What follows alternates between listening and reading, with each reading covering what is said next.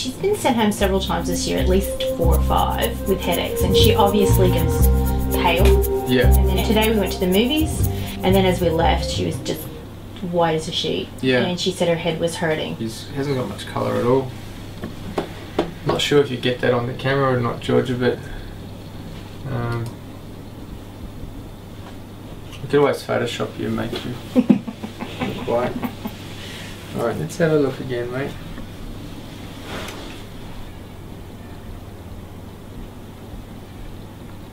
So these is where I've marked off the breaks there. And you can see it's quite fluidy around there. There's a lot of fluid around that spot there. And not much there at all.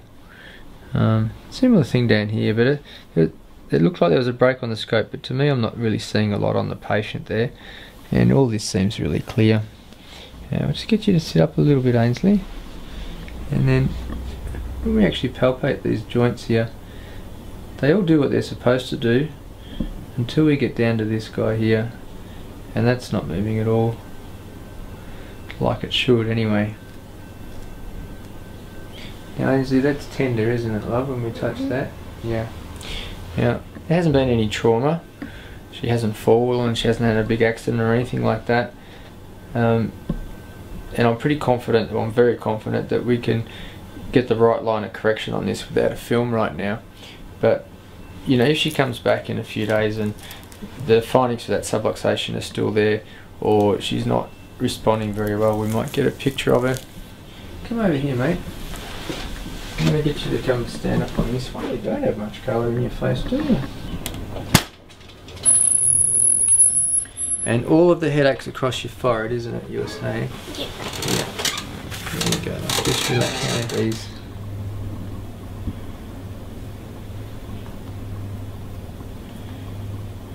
That's tender there, isn't it? Now, a lot of people think when you get pain in the head, it's always from the neck, but it's not. You okay, love? Yep. You're not nervous? Um, a little bit. A little bit, yeah. I can't hurt you, sweetie, so don't worry. This might be a little bit uncomfortable just because you'll feel it move. Um, and you'll hear a little bit of a click, but I can't hurt you. Now just bring your chin up a little, that's it. Alright, now what I'm going to do is I'm going to squish you down a little bit. And I'm going to hold your head with my arm like that so your head doesn't pop up in the air.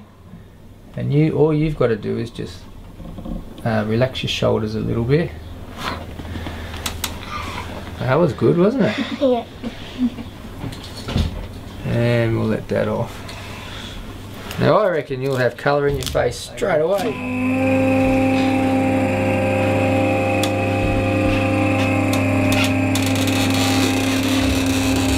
And just step down a bit. You might feel a little bit dizzy.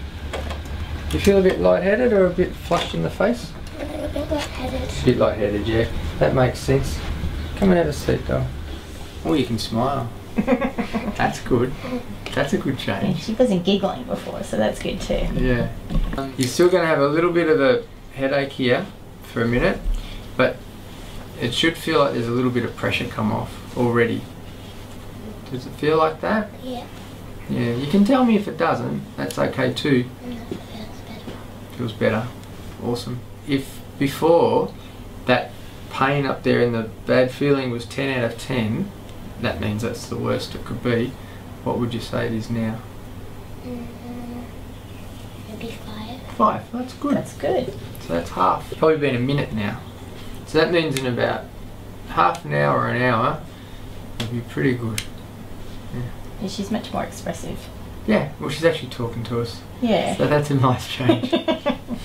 that's a High five, buddy. that's a big change You're not talking off all the way through too. Thank you very much. Actually, she's dead already, I can is- tell.